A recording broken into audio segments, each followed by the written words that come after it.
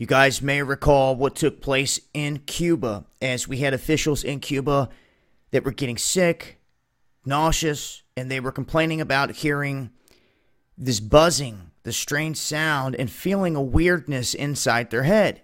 This led to speculation that some kind of weapon was being used on officials in Cuba. This happened multiple times. And now we have a U.S. government employee suffering a brain injury after hearing an abnormal sound in China. They're saying that this U.S. government worker has reportedly suffered a mild brain injury after hearing this abnormal sound while working in China. They're saying that this has sparked con- comparison to what I was just talking about that alleged sonic attack that took place on U.S. diplomats in Cuba. Now, the U.S. State Department had issued this health warning to its citizens based in China, outlining a mysterious case that they say that they can't solve at the moment. So they're saying that a government employee in China recently reported subtle and vague but abnormal sensations of sound and pressure. So they're saying it is not known what caused the symptoms experienced in this unnamed employee based incident that took place outside of the United States. But there are multiple events that have happened now. So, what we're seeing is government officials being targeted by some sort of technology, regardless.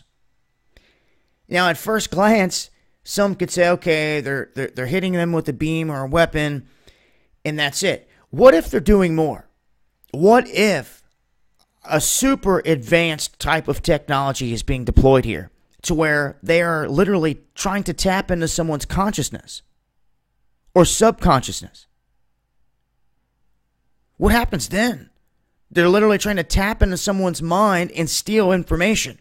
And in the process, it's doing some damage. Reading their minds, so to speak. This was talked about as soon as it was mentioned the very first time. They hushed it over, and I found I found that extremely odd. Why would they do that? Well, to me, the US would have this capability too. And if they're doing it to others, they're not going to come out and they're not going to state it. They're going to let it remain a mystery, but they're going to say, hey, something's going on. They're just going to keep everybody in the dark. Now, that may not be the case, but I'm telling you right now, some government agency, some military apparatus out there is doing that. Without a doubt. It goes right along the lines of MK Ultra and everything else. So what is the point in trying to hit any of these officials and give them a migraine or a headache? You didn't kill them, you didn't gain anything from it. All you did was raise suspicion. You could have tested this on any other individual and got the same results without giving your hand away. So that's what makes me think there could be way more to this than what they're saying.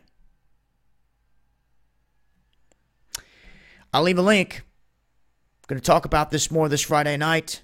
Underground World News Live, Dahboo 7, 7, 9 p.m. Eastern. Hope to see you guys there. Peace.